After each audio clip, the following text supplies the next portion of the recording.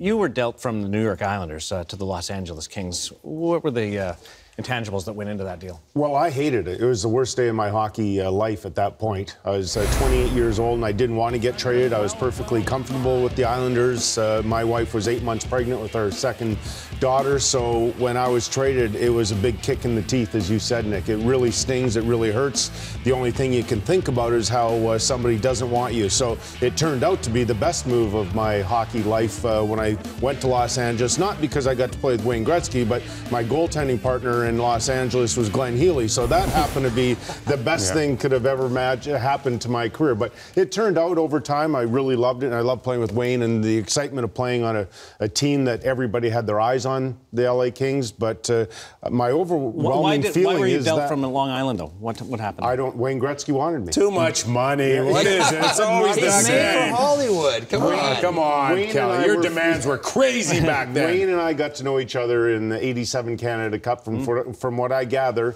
he was able to convince Bruce McNall uh, to start talking to Bill Torrey, and that's how it worked. Your first trade was from the Maple Leafs. Yeah, I was woke up middle of a pregame nap, and it was Pat Quinn who called me, and in, in, a matter of 15 seconds, it was we made a trade involving you. You're going to Tampa. Good luck. I mean, yeah. I mean it was I was I was barely awake. I, I, hung up the phone, and all I could think of was where did I get traded? I could not remember the team right. he said because I was barely even awake, and, and so you kind of process it all, but.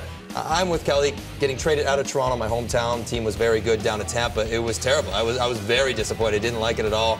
Um, very unhappy to do so. Uh, did, did, the no state tax help you out at all? I, I, I, I was, quick, I, was quick to appreciate the 15% raise on the way down to Florida. Listen, uh, and then and then the trade from Florida to Phoenix. You're more ready for it the second time. So Doesn't it was matter easier. As much.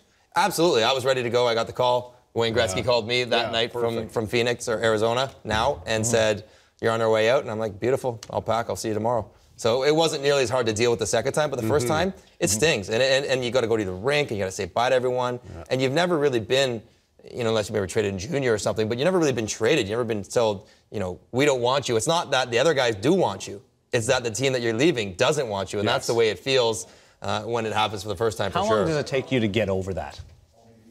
A while. Weeks for me. Yeah. Yeah, I was really, really. I yeah. liked my new teammates. I liked the team, but I couldn't get over the thought or the fact that, uh, like, I just wasn't wanted. Would you still follow the Islanders?